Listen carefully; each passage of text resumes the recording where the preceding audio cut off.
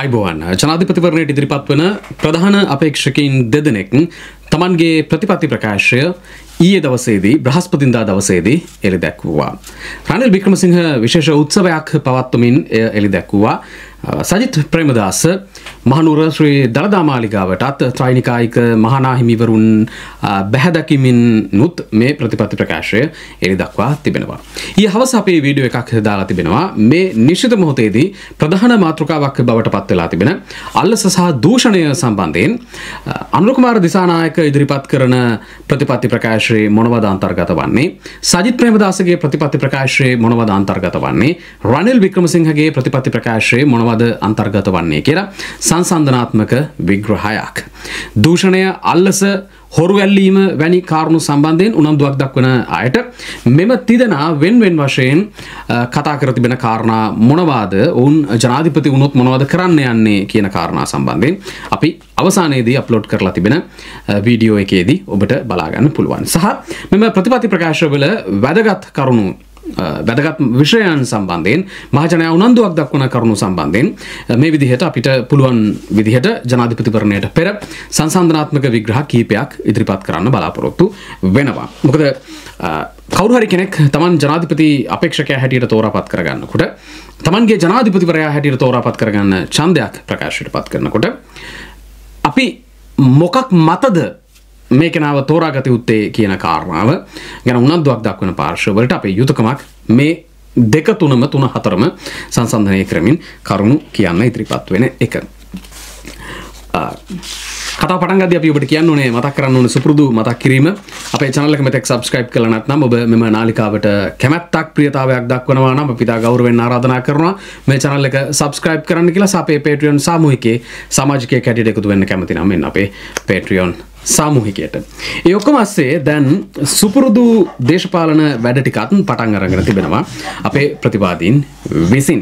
මේගොල්ලෝ ටික කාලෙකින් මේකට කල්යල් බලමින් සිටියේ වෙලාවක් එනකල් බලාගෙන හිටියේ. අපිට කොහොමද පාඩමක් උගන්වන්නේ? එහෙම නැත්නම් අපිට කොහොමද පහර ගහන්නේ කියලා බලාගන්න.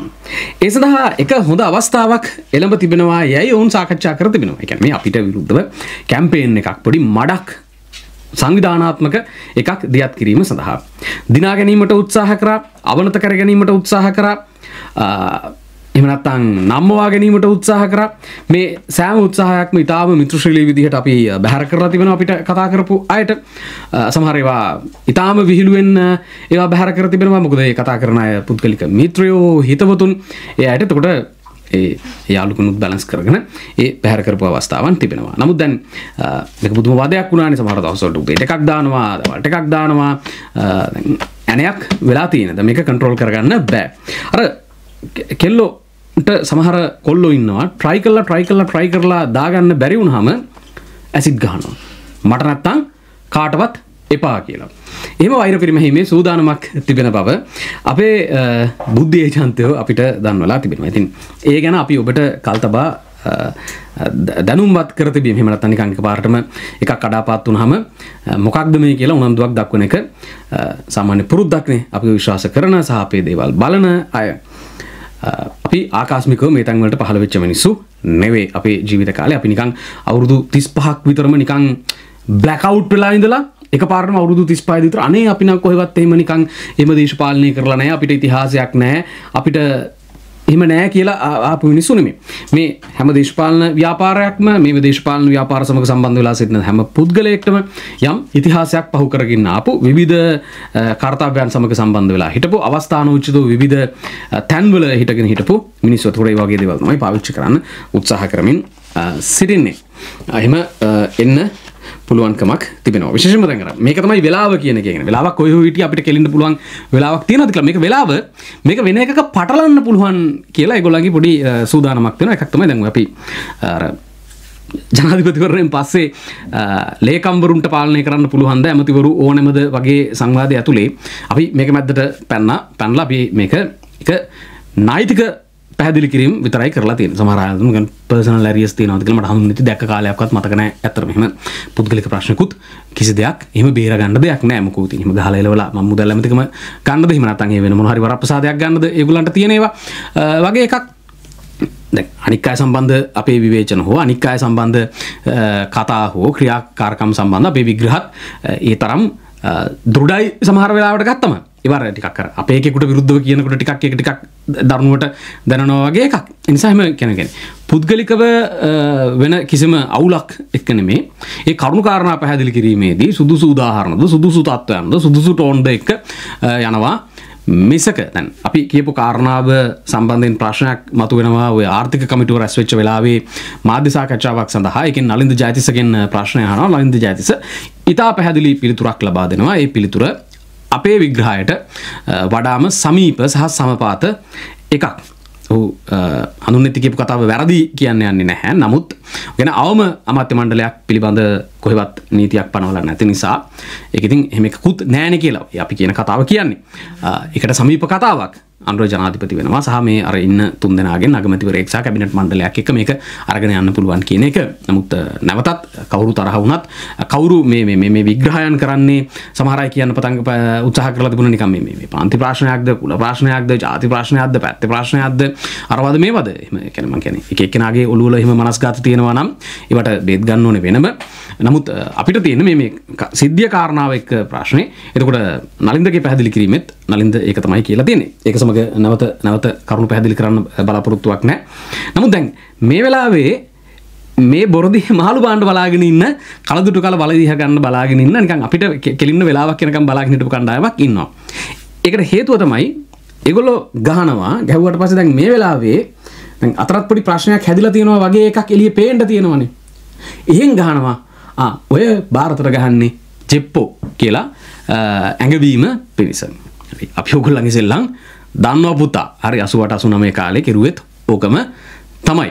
තම තමන්ගේ පුද්ගලික ඇරියස්, තම තමන්ගේ දේශපාලන ඇරියස් වගේ ඒවා පිරිමහගත්තා මිනිසුත් එක්ක පිරිමහගෙන ඉවර වෙලා අවසානයේදීව ඔක්කොම JVP account එකට, JEP account එකට දාලා අත පියදා ගත්තා. නිසා ඔගුල ඉතිහාසේ විධ අවස්ථාවන් වල දීව කරලා තිබෙන නිසා අත්දැකීම අපට තිබෙන නිසා අපි අසාධන ගත් සිද්ධීන් ඕනෑ තරම් තිබෙන නිසා නිකං ඔගොල්ලු අපිත් එක්ක ඇරියස් පිරිමහලා ඒවා වෙන වෙන අයගේ එකකවන්සල්ට දාන්න හදනවා ඒවා පිළිකුවට ගන්න නෑ. සහ මඩ ගහන කෙනෙකුට ඕන තරන් අතදිකරලා ගහන්න පුළුවන්. අපි ලයික් වන්න නේ ගහන්න පුළුවන්. එක අපි අපිවට අපි ලෑස්තිී සහයවා සාදරයෙන් පිළිගන්නවා ඕනෑම මඩක් කියන එක. එතකොට මේක කරන්න දන්නේ ඒගොල්ලො ඒගොල්ලො ගහලා ඒ ගහන කණ්ඩායම කවුද කියනකත් අපි දන්නවා. ඒ සාකච්ඡාවල හිටපු අය කවුද කියනකත් ගල මේක මේ අන මේක මේ අර පැත්තෙන් ආපු එකක් වගේ එකක්. අඟවන එකක්. හරි.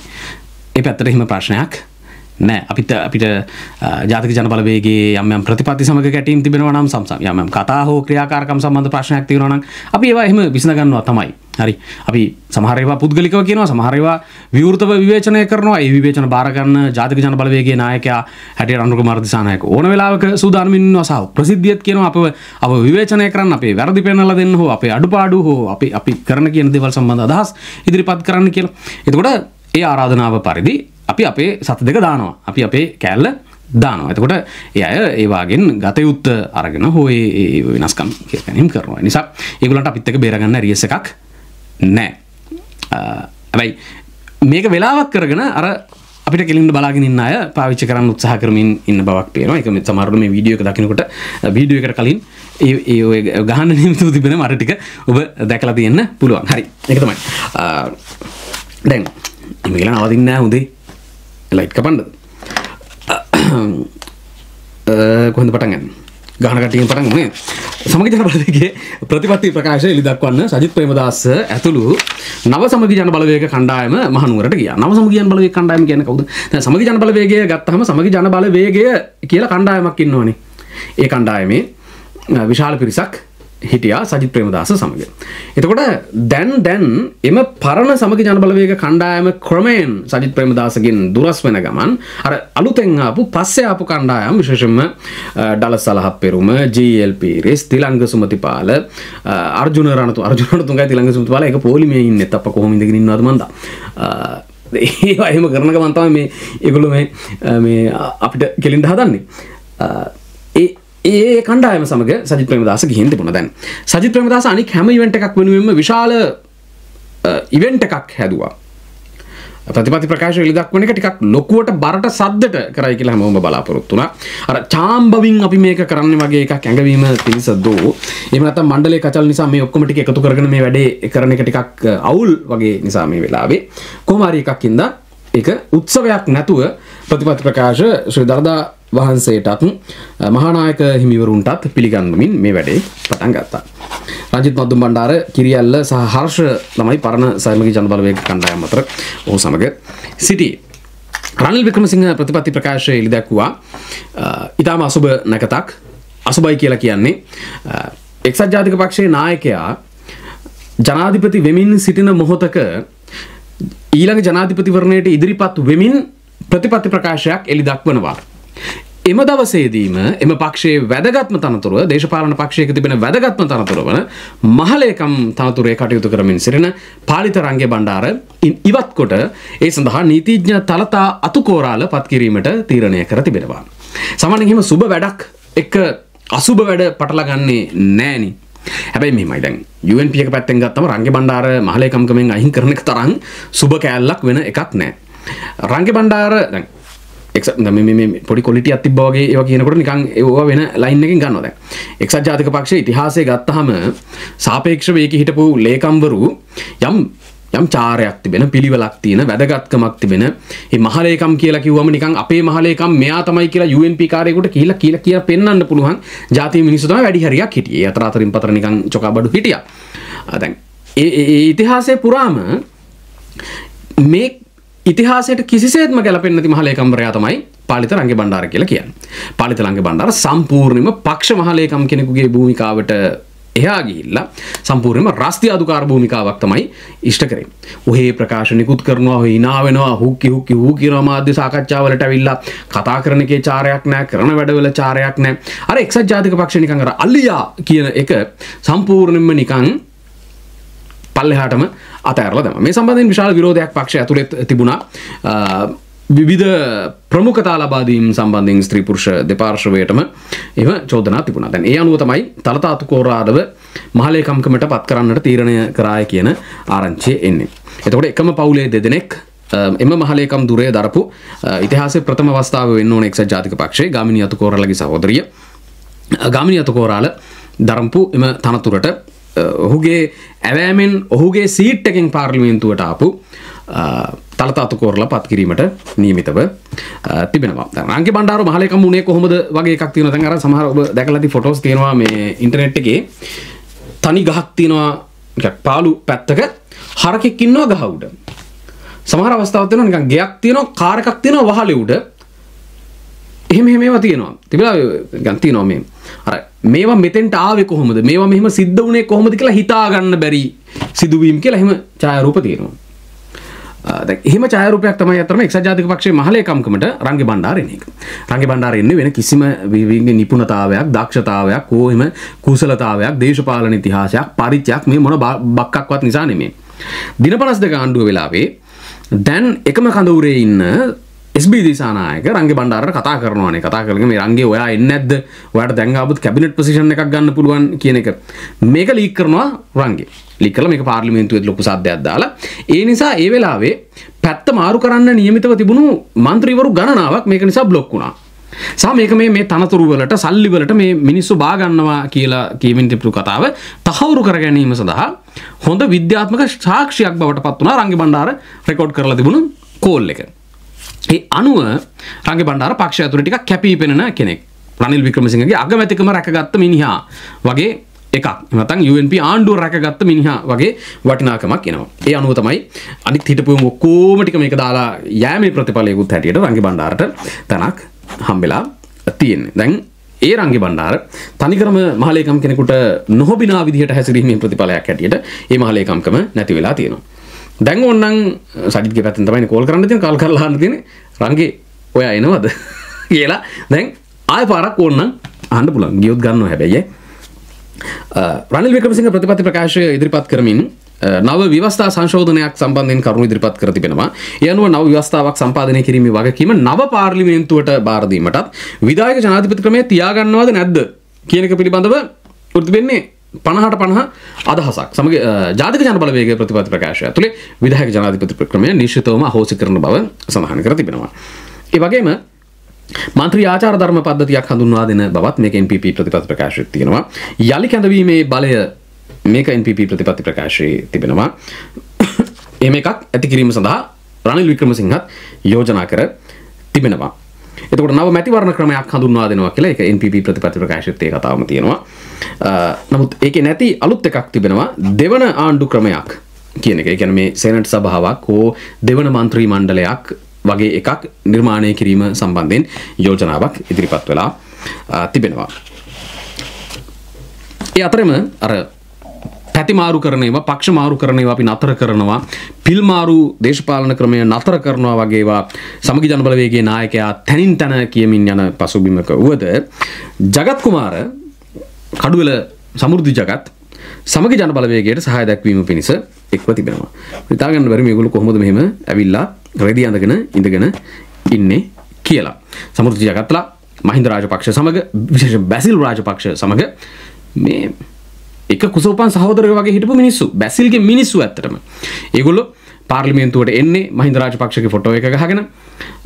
මහින්ද රාජපක්ෂකයන් රාජපක්ෂ වාදයේ ප්‍රධාන පුරුක් සමෘද්ධ ජගත්ලා කියලා කියන්න. නමුත් දැන් සමෘද්ධ ජගත්ලා ඇවිල්ලා තිබෙන එතුර සජිත් කිව්වට මේ පිල්මාරු දේශපාලන ක්‍රමය මේ ගෙබි සංස්කෘතිය නතර කරනවාය කියලා ඒ සංස්කෘතිය කවද කොහොමද නතර කරන්නේ කියන එක පිළිබඳව අපිට තීන්දුවක් ගන්න වෙන්නේ අන්තිම එකත් පැනලා ඉවරයි කියලා කිවට පසේ ගැන සජි ප්‍රේමදාස විවෘත ප්‍රකාශයක් කරලා කියන්නනේ. හරි හරි. දැන් පැනලා ඉවරයි. දැන් ආයි ගන්නෙත් නෑ. යන එක නවත්තන්න බෑ. කොහොමත් ආයි ගන්නෙ නෑ. දැන් අපි අද ඉඳන් මේ පිල්මාරු දේශපාලන සංස්කෘතිය නතර කරනවාය කියලා තමයි කියන්න වෙන්නේ.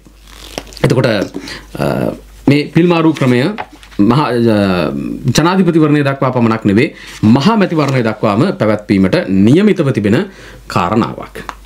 ජනාධිපතිවරණය දක්වාම මෙහට පැනගෙන පැනගෙන පැනගෙන පැනගෙන යනවා ඔය දෙපැත්තන්නේ පයින්ට තියෙන්නේ පයිනා ගන්න ඒ දෙපැත්තනේ එතකොට පැනගෙන පැනගෙන පැනගෙන පැනගෙන යනවා ඊට පස්සේ ජනාධිපතිවරණ ප්‍රතිඵලයේ අනුව අපිතුමු රනිල් වික්‍රමසිංහ දෙක වෙලා සජිත් ප්‍රේමදාස තුන වුණා කියලා. එතකොට ඊළඟ මහා මැතිවරණයකදී සජිත් ප්‍රේමදාස සමග දීක කෑමේ ඇති පලක් නෑ මොකද ජනාධිපතිවරණය තුන එම නම් වෙන්න පුළුවන් දේ තමයි මහා මැතිවරණයේදී විශාල වශයෙන් ප්‍රතික්ෂේප වීම. ඒක අනිත් පැත්තෙන් සජිත් දෙක වෙලා රනිල් තුන වුණොත් ඒක රනිල් වික්‍රමසිංහ සම්බන්ධනුත් වළංගු කාරණාව ඒක. අන් ඒක ඉවර ජනාධිපතිවරණය ඉවර වෙච්ච දවසේ සිට ඊළඟට පටන් ගන්නවා අර පැත්තට පැනලා ඉන්නේ. ඒ කියන්නේ තුන්වෙනි තැන පත්වෙච්ච අපේක්ෂකයාට සහය දක්වමින් හිටපු කණ්ඩායම නැවත මහගෙවල් වලට එහෙම එන්න.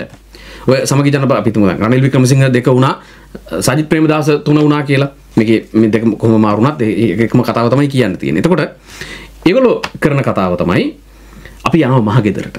අපි UMP කාරයෝ අපි යනවා මහගෙදරට කියලා සජිත් ප්‍රේමදාස ගාව ඉඳන් බස බස බස බස ගාලා රනිල් වික්‍රමසිංහ ගාවට පනින්න තියෙනවා.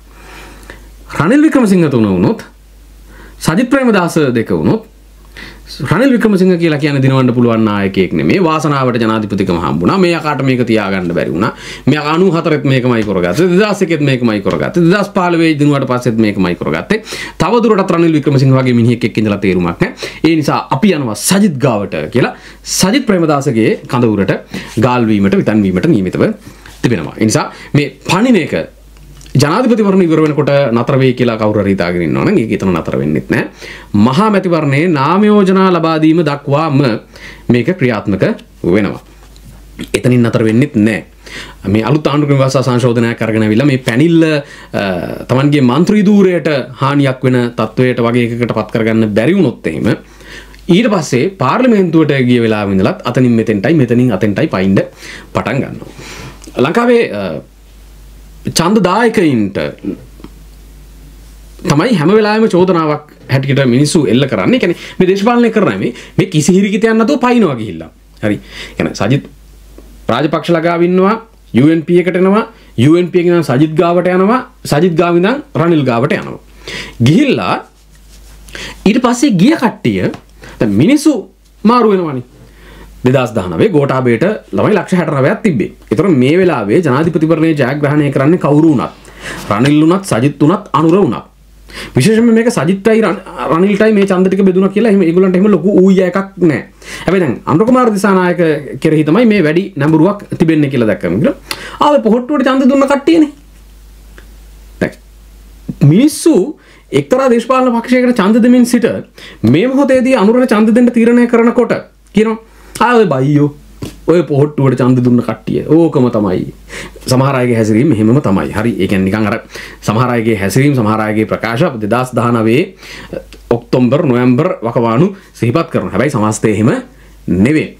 සහ මේ ඊළඟ මේ මොහොතේ මොකා ජනාධිපති වුණත් අගහරු ලෝකෙන් ගෙනල්ලා මිනිස්සු ගෙනල්ලා ඉන්දියාවෙන් ගෙනල්ලා ඇමරිකාවෙන් ගෙනල්ලා යුරෝපෙන් ගෙනල්ලා නෙමේ ඡන්දදායකයෝ කියන මිනිස්සු අවසානයේදී ඡන්දය ප්‍රකාශ කරන්නේ. මේ ලංකාවේම ඉන්න ඡන්දදායකයෝ යම් ප්‍රමාණයක් තමයි මෙතනින් අතෙන්ට යන්නෙත් අතනින් මෙතෙන්ට එන්නෙත් මේ ඡන්දෙදී අරයට ඡන්ද දෙන්නෙත් අර ඡන්දෙදී මෙයාට ඡන්ද දෙන්නෙත්. එතකොට මේවා සමග සක්‍රියව කටයුතු කරමින් ඉන්න පාර්ශවයන් සිටිනවා.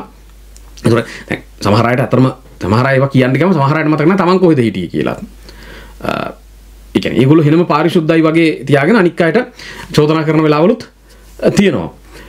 නමුත් කාරණාවක් හැටියට ගත්තාම ඡන්දදායකයෝ ක්‍රියාකාරිකයෝ ප්‍රත්‍යන්ත නායකයෝ එතකොට යම් බලපෑම් හැකියාවක් තිබෙන කණ්ඩායම් හෝ පුද්ගලයින්.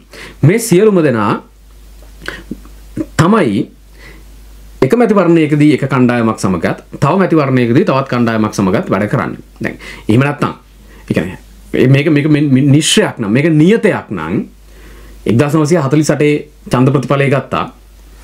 වැඩි පිරිසක් ඡන්ද දීලා තියෙන්නේ ඩියසේන නායකට ඊට පස්සේ ඊළඟ ඡන්දෙට එනකොට 48 ඡන්ද දුන්න කිසිවෙක්ට ඡන්ද අයිතිය අහෝසි කරලා දානවා. ඒ අතරමැද්ද කාලේ ලියාපදිංචි වෙච්ච පිරිස ඉන්නවනේ. කාන් ඒ පිරිසට විතරක් ඡන්ද අයිතිය දෙනවා. ඒ ප්‍රතිඵල ටික විතරක් ගණන් හදලා ඒ ප්‍රතිඵලය අනුව ඒ පක්ෂය පරාජය කරමින් මේ පක්ෂය දිනනවා නම් අර අලුත් අවුරුදු පහේ ලියාපදිංචි වෙච්ච ඡන්ද ටිකෙන් විතරක් ඒ ප්‍රතිඵලය ගන්නවා. එතකොට ඊළඟ ඡන්දෙට එනකොට අර ඡන්ද දෙක පළවෙනි ඡන්ද දෙකටම ඡන්ද දුන්න කට්ටිය අයින් කරලා දෙවෙනි ඡන්දයත් තුන්වෙනි ඡන්දයත් අතර පැවැත්වෙන අතර කාලයේදී පමණක් ලියාපදිංචි වෙච්ච ඡන්දදායකයෝ විතරක් එනවා. එතකොට මිනිහෙකුට ජීවිතේ පවතින තාක්කල් එක දේශපාලන පක්ෂයකට එකවරක් පමණක් ජීවිතේ ඡන්ද දෙන්න පුළුවන් එක මැතිවරණයක. දැන් පාර්ලිමේන්තු මහමැතිවරණයකට මම මගේ පළවෙනි ඡන්දේ දුන්නොත් එමෙ නිකන් කෝප්පේ වගේ එකකට. ඒතර ඒ මගේ මට ජීවිත කාලෙම ඡන්ද දෙන්න තියෙන අවස්ථාව ඉවරයි එතනින්. එහෙම එකක් තමයි මේ කියන්නේ. ඇයි නිකන් මේ වෙලාවේ කෝප්පෙට දීලා ඊළඟ පාර පිඟානට දෙන්න බෑ. එහෙම දුන්නම නිකන් ඒක ඒක කියන්නේ අප්සෙට් කේස් එකක්. හැබැයි පිඟාන අපේ නම් ආ පිඟාන අපේ නම් අපිට ඡන්ද දුන්නට අවුලක් නැහැ. හැබැයි පිඟාන වෙන එකෙක් ගෙන පිඟාන වෙන එකෙක් ගෙන ඡන්ද දුන්නම ආ ඔක්කොම තමයි දුන්නේ උම්ම තමයි දුන්නේ උම්ම තමයි රට ඉඳන් ආවේ උම්ම තමයි මේ කොඩි උස්සගෙන ආවේ උම්ම තමයි හරි නැවත නැවත කියන්න තියෙන්නේ එකක් මේ එන මිනිස්සු ඒ කියන්නේ පක්ෂවලට එන මිනිස්සු එන්නෙත් කවදාවත් මේ මේ අයහපතක් කිරීම ප්‍රාර්ථනාවෙන් හෝ එහෙම නැත්නම් මේ නිකන් රටට කෙලවන්න ඡන්ද දෙනවා කියලා හිතාගෙන නෙවෙයි. දේශපාලන පක්ෂ සමහර ඒවා තිබුණා. ඒතර තමන්ට කැපැසිටි එකක් නෑ ආණ්ඩුව කරන්න. දැන් ගෝඨාභය රාජපක්ෂගේ වැඩේ බලනකොට අපිට තාම හොඳට තේරිච්ච කාරණාව තමයි අහන ප්‍රශ්න වලට නෙමෙයි උත්තර දෙන්නේ කුණුහරුප කියන්නේ. අයියාගෙන් අහන්න කියනවා. ඇයි මගෙන්ම ප්‍රශ්න අහන්නේ කියනවා. ඒක අපි දිනුවම බලා ගන්න ඉස්සරලා අපිට බලය දෙන්න. දැන් ඕවා කීපයක් බලාගෙන හිටපුවාම තේරෙන එක තමයි මේ නංච බලය දීලා හරියන්නේ නැහැ. තනිකරම තනි පිස්සුවක් කෙලින්නේ කියලා. එතකොට ඒ පාලකයින්ට ඒ විභවය නැතුව තමන් ඡන්දය අරගෙන හෝ තමන් දේශපාලන පක්ෂ හදාගෙන හෝ ඒ යවන ඒක ඒගොල්ලන්ගේ වරදක්. හරි. නමුත් මිනිස්සු මිනිසුන්ට ඇවිල්ලා මොකක් හරි ලස්සන ප්‍රතිපත්ති ප්‍රකාශයක් දානවා. ලස්සන කතන්දර ටිකක් කියනවා. ලස්සන බලාපොරොත්තු ටිකක් කියනවා. මිනිස්සු ඒව ගැන විශ්වාස කරලා ඡන්දය දෙනවා. දැන් ඔය ඔය සමහර අය කියන විදිහට ලංකාවේ ස්තීර පදිංචිකරු මැරණ තාක්කල් ලංකාවේ පදිංචිකාරයින්ට විතරයි ලංකාවේ ඡන්දවල ඡන්ද දෙන්න පුළුවන්. ජීවිතේටම එකම එක වතාවේ ඡන්ද දෙන්න පුළුවන් ආයේ කොහෙට හරි ඡන්ද දුන්නම ආයේ අදහස වෙනස් කරන්න බෑ. ඒක එහෙන සෞත්තු කෑල්ලක්. හරි. ඒතර කවුරු හරි කෙනෙකුට තමයි වැඩ කරනවා සක්‍රියව දේශපාලනය කරනවා නම් එක එක විතරයි කරන්න පුළුවන් ඊට පස්සේ ආය කාටවත් කරන්න බෑ. තත්වයන් අනුව කාලයන් අනුව ඒ අවස්ථානෝචිත සිද්ධීන් අනුව ඒ ඒව ඒව ඒව අදාළ නැහැ. හැබැයි ඒගොල්ලන්ට ඒගොල්ලන්ට පක්ෂමාරු කිරීමේ අයිතියක් තියෙනවා. මගේ දේශපාලනය කරන මිනිසුන්ට පක්ෂමාරු කිරීමේ අයිතියක් තියෙනවා. හැබැයි අවම සදාචාරයක් තියෙන්න ඕනේ. මොකද අවම සදාචාර අවම සදාචාරය කියලා කියන්නේ යම් දේශපාලන පක්ෂයකින් පාර්ලිමේන්තු ආවනං මිනිහෙක් අදාළ දුර කාලය කියන එක ඒ පාර්ලිමේන්තු නිල කාලය කියන එක ඒ මිනිහා ඒ දේශපාලන පක්ෂේ ඉන්න ඕනේ. හරිද? මොකද ඒ මිනිහා පාර්ලිමේන්තුවේ ඇවිල්ලා තිබෙන්නේ එම දේශපාලන පක්ෂයට ඡන්ද දෙන ඒ ඒ මිනිහා ඒ මොහොතේ මේ දේශපාලන පක්ෂයට අදාළව කියපු ප්‍රතිපත්ති වලට අදාළව. ඒතර ඒගොල්ලන්ට ජනමරම හම්බෙලා තියෙන්නේ අදාළ සිද්ධියට අදාළව. අවුරුදු පහෙන් පහට පක්ෂෙන් පක්ෂයට මාරු කර කර ගිහිල්ලා ජීවිතේ හත් පාරක් විතර ඡන්දය ඉල්ලලා පක්ෂ හතකට විතර මාරු වුණාට ප්‍රශ්නයක් නැහැ කියලා කියන්න පුළුවන් ප්‍රශ්නයක් නැහැ ඇත්තටම හැබැයි ඒ නිල කාලය ඇතුලේ දැන් අද පාර්ලිමේන්තුවට එනවා. ඕන් ඊළඟ පනතක් ගෙනකොට කීයක් හරි ගන්නවා ඒ පැත්තට ගිහිල්ලා ඡන්ද දෙනවා. ඊට පස්සේ මේ පැත්තට අවිල්ලා ආයෙ ඡන්ද දෙනවා. අහරයට ඡන්ද දෙනවා. මෙහාට ඡන්ද දෙනවා. ඒක කරන්න අයිතියක් නැහැ. මොකද ජනතාව බලය ලබා දී තිබෙන්නේ වරම ලබා දී තිබෙන්නේ ඒක කරන්න නෙවෙයි. නමුත් ජනතාවට ජනතාවට ටික කාලයක් ඉන්න මාස තුනකින් විතර දැන්. පළ අද ඡන්ද තියෙනවා. අද ඡන්ද දෙනවා. අහවල් එකාට. මාස තුනකින් විතර ජනාධිපතිවරණ එනවා ඒ ජනාධිපතිවරණ කාලය ඇතුලේ ඒ ඒ මාස තුනකට කලින් ඡන්ද දුන්න කට්ටිය කරලා තියෙන එක හරිද වැරදිද කියලා බලලා ආ මාස තුනකින් වෙන වෙන තීන්දුවක් ගන්න පුළුවන්. ඒක කරගන්න බැරි නම් ඉල්ලාස් වෙලා වෙන අවස්ථාවක් දෙනවා වගේ එකක් කරන්න පුළුවන් නියෝජිතයින්ට උට. ජනතා නියෝජිතේ භාවය කියන එක ඊට වඩා වගකීම් සහගත වැඩක්. මොකද ඒ ඒ වගකීම කාටවත් පවරන්න බෑනේ. අනේ අපිට ඕගලන් ඡන්ද දුන්නා නිකන් අපිට මේක කරගන්න බෑ වගේ එකක්. කියන්නේ අවුල තිබෙන්නේ පාලකයින්ගේ නම් පාලකයින් වෙනස් කිරීමේ අයිතිය ජනතාවට තියෙනවා තියෙනවා මිසක පාලකින්ට එහෙම ඕන ඕන විදිහට දේශපාලන පක්ෂ වෙනස් කිරීමේ අයිතියක් නැහැ. ඒකවල මම දක්ව අම්ර පහුගිය දවසක අර ලස්සන කතාවක් කියලා තිබුණේ. ජනතාව ආණ්ඩු මාරු කරනවා. දේශපාලකයෝ පක්ෂ මාරු කරනවා. අවසානයේ පළවෙනි පාර ඡන්ද දීලා 10 දෙනෙක් පත් කරනවා කියන්න.